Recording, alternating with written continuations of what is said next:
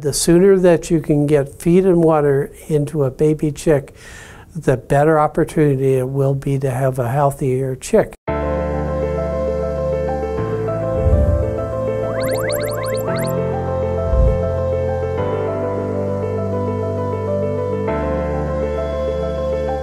We knew that it was the future based on where our industry is going, and we wanted to give it a go. I wanted to see better chicken and better welfare and those sort of things that I thought consumers were looking for. When we know what HatchCare can supply us and can give us and can provide us, who wouldn't want to be part of that?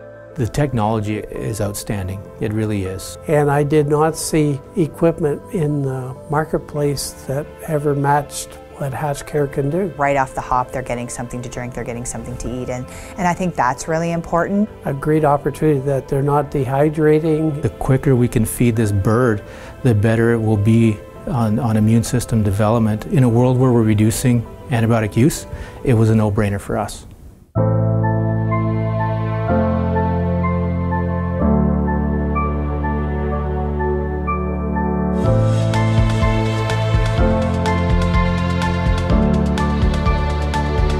Really fantastic to tip the chicks onto the litter.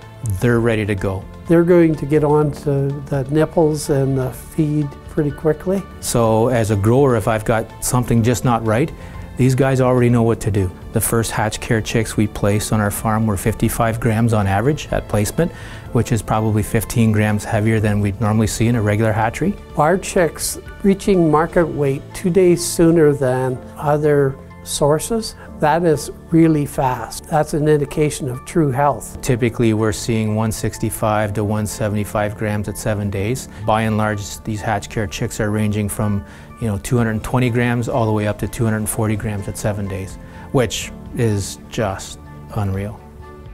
We're not starting the birds at the same temperature either. We're actually starting them three degrees Fahrenheit cooler. That's a money saver for me.